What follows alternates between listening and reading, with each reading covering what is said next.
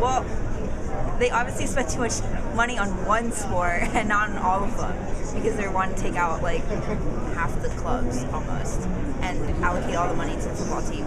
It's not really fair because the other teams are doing really well too, so they should get you know a good amount of funding and not just generate it all towards the football team.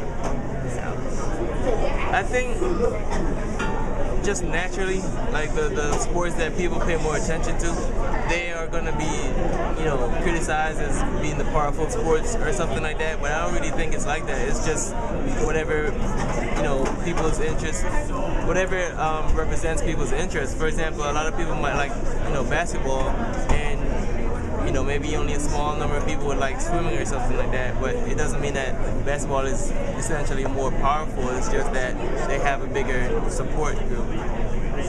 I think as, as far as scholarships for, for athletes, I think that's okay, but I think um, colleges tend to pay, overpay coaches a lot.